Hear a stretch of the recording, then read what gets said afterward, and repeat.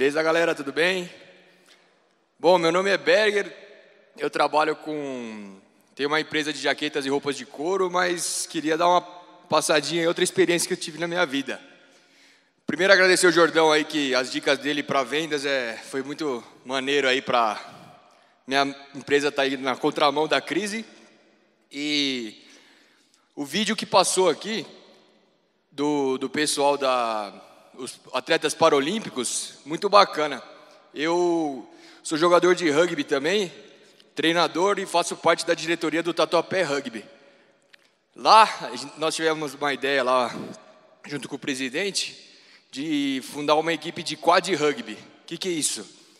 É rugby de cadeira de roda.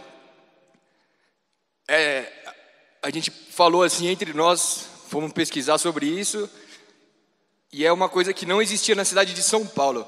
Então falou, pô, que bacana, a gente está inovando na cidade de São Paulo, estamos empreendendo sobre isso.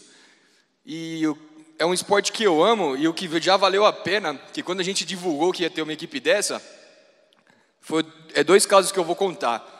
Um foi uma, uma ligação WhatsApp que o cara ligou lá, falou assim, ó, oh, eu sou o Lucas, sou atleta paralímpico, estou aqui em Toronto, se você ligar a televisão, daqui duas horas eu estou passando na Sport TV. Falei, caramba, como assim o cara está ligando para a gente? Só que eu estou mais ansioso em voltar para o Brasil, pro aí para São Paulo para ver como que é esse projeto, do que para entrar na quadra agora. Falei, puta que, que da hora, né?